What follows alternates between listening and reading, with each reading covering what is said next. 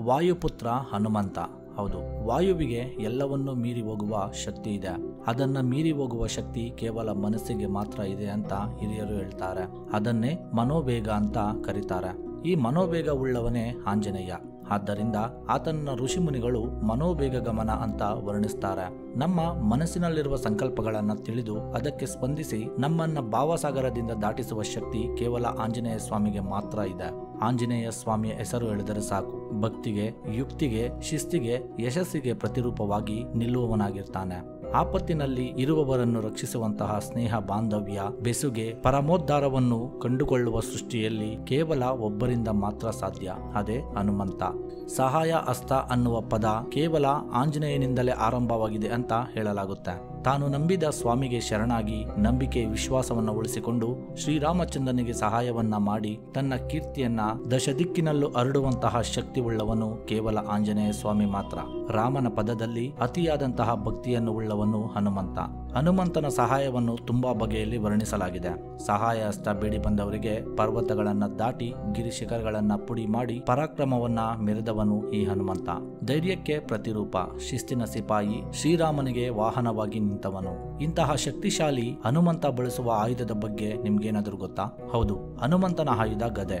ಯಾಕಂದ್ರೆ ಪುರಾಣಗಳ ಪ್ರಕಾರ ಯಾವ ದೇವತೆಗಳಿಗೂ ಇಂತಹ ಆಯುಧ ಇಲ್ಲ ಅಂತ ಹೇಳಲಾಗುತ್ತೆ. ಆಂಜನೇಯನಿಗೆ ಮಾತ್ರ ಅದನ್ನು ಓರುವಷ್ಟು ಶಕ್ತಿ ಇದೆ. ಅದನ್ನು ಉಪಯೋಗಿಸುವಂತಹ ಯುಕ್ತಿಯೂ ಸಹ ಇದ್ದಿತ್ತು. ಇದರಿಂದ ಯುದ್ಧಕ್ಕೆ ಇಳಿದರೆ ಸಾಕು. ಎದುರು ಬರುವಂತಹ ಎಂತಹ ಯೋಧರೇ ಇದ್ದರೂ ಕ್ಷಣದಲ್ಲಿ ಮೂರ್ಛೆ ಹೋಗುವಂತಹ ಪರಿಸ್ಥಿತಿ ಅಲ್ಲಿ ಬರ್ತಾ ಇತ್ತು. ಈತನ ಆಯುಧ ತುಂಬಾ ರಾಕ್ಷಸರಿಗೆ ನಡುಕವನ್ನ ಹುಟ್ಟಿಸ್ತಾ ಇತ್ತು. ಅದನ್ನ ಮುಟ್ಟಿದರೆ ಸಾಕು, ಭಸ್ಮವಾಗ್ತಾ ಇದ್ರು ಅಂತ ಹೇಳಲಾಗುತ್ತೆ. ಅದನ್ನ ಬಿಟ್ಟರೆ ಆ ಆಯುಧವನ್ನ ಕದಿಲಿಸಲು ಯಾರಿಂದಲೂ ಸಾಧ್ಯವಾಗ್ತಾ ಇರಲಿಲ್ಲ.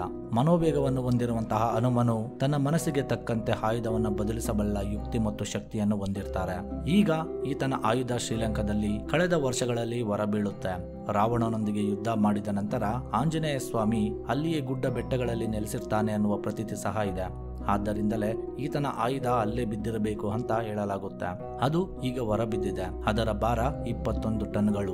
ಉದ್ದ ನಲವತ್ತೈದು ಅಡಿ. ಇದನ್ನ ಮನುಷ್ಯರಿಂದ ಅಲುಗಾಡಿಸೋದಕ್ಕೂ ಸಾಧ್ಯವಾಗೋದಿಲ್ಲ. ಶ್ರೀಲಂಕಾಗೂ ರಾಮಾಯಣಕ್ಕೂ ಇರುವ ನೆಂಟು ಈ ಒಂದು ಆಯುಧದಿಂದ ತಿಳಿದು ಬರುತ್ತೆ. ರಾವಣಾಸುರನ ಜೊತೆ ನಡೆಯುವ ಯುದ್ಧ, ಸೀತೆಯ ಅಪಹರಣ ನಂತರ ಶ್ರೀರಾಮನು ರಾವಣನನ್ನು ಸಂಹರಿಸಿ ಸೀತಾಮಾತೆಯನ್ನು ಕರೆದುಕೊಂಡು ಅಯೋಧ್ಯೆಯಲ್ಲಿ ನೆಲೆಸಿರುವಂತಹ ವಿಷಯ ಎಲ್ಲರಿಗೂ ತಿಳಿದು ಬಂದಿರೋದೆ. ಇದರ ನಂತರ ಚಿರಂಜೀವಿ ಆಗುವಂತೆ ಸಾಕ್ಷಾತ್ ಜಗನ್ಮಾತೆಯಾದ ಸೀತೆಯು ಹನುಮಂತನಿಗೆ ಆಶೀರ್ವಾದವನ್ನ ಮಾಡ್ತಾರೆ. ಎಲ್ಲಿಯವರೆಗೂ ಸೂರ್ಯ ಚಂದ್ರರು ನೆಲೆಸಿರ್ತಾರೋ ಅಲ್ಲಿಯವರೆಗೂ ರಾಮನ ಕೀರ್ತಿ ಇರುತ್ತೆ ಅಂತ, ಅಲ್ಲಿಯವರೆಗೂ ನೀನು ಚಿರಂಜೀವಿಯಾಗಿ ಜಗತ್ತಿನಲ್ಲಿ ನೆಲೆಸಿರುವೆ ಅಂತ ಸಾಕ್ಷಾತ್ ಸೀತಾಮಾತೆ ಹನುಮಂತನಿಗೆ ಆಶೀರ್ವಾದವನ್ನ ನೀಡ್ತಾರೆ. ಅಷ್ಟೇ ಅಲ್ಲದೆ ನಾವು ಶ್ರೀಲಂಕಾದಲ್ಲಿ ಹನುಮಂತನ ಹೆಜ್ಜೆ ಗುರುತನ್ನು ಸಹ ಕಾಣಬಹುದು. ಸೊ, ರಾಮಾಯಣ ನಡೆದಿದ್ದು ನಿಜ, ಹನುಮಂತನ ಪಾದ ಇರುವುದು ನಿಜ, ಹನುಮಂತನ ಗದೆ ಸಿಕ್ಕಿರುವುದು ನಿಜ. ಈ ಗದೆಯ ಬಗ್ಗೆ ಹೇಳ್ತಾ ಹೋದ್ರೆ ಇನ್ನು ಕೆಲವರು ತುಂಬಾ ವಾದಗಳನ್ನೇ ಮಾಡ್ತಾರೆ. ಆದ್ರೆ ಶ್ರೀಲಂಕಾದಲ್ಲಿ ಕಾಣಿಸುವ ಹನುಮಂತನ ಪಾದಗಳು ಮಾನವ ನಿರ್ಮಿತ ಪಾದಗಳಲ್ಲ ಅನ್ನೋದು ತುಂಬಾ ಜನರ ಒಂದು ಅಭಿಪ್ರಾಯವಾಗಿರುತ್ತೆ. ಇದರ ಪ್ರಕಾರ ಆ ಗದೆ ಆ ಶ್ರೀಲಂಕಾದಲ್ಲಿ ಸಿಕ್ಕಿರಬಹುದು ಅನ್ನೋದು ತುಂಬಾ ಜನರ ಅಭಿಪ್ರಾಯವಾಗಿರುತ್ತೆ. ಸೊ ಇದಿಷ್ಟು ಈ ವಿಡಿಯೋದಲ್ಲಿ ಚಿಕ್ಕ ಮಾಹಿತಿ. ಈ ವಿಡಿಯೋ ಬಗ್ಗೆ ನಿಮ್ಮ ಅಭಿಪ್ರಾಯವನ್ನು ತಪ್ಪದೆ ನನಗೆ ಕಾಮೆಂಟ್ ಮುಖಾಂತರ ತಿಳಿಸ್ಕೊಡಿ. ಈ ವಿಡಿಯೋ ನಿಮಗೆ ಇಷ್ಟ ಆಗಿದ್ರೆ ಖಂಡಿತ ಲೈಕ್ ಬಟನ್ ಮೇಲೆ ಕ್ಲಿಕ್ ಮಾಡಿ ಅಂತ ಹೇಳ್ತಾ, ಜೈ ಶ್ರೀರಾಮ್.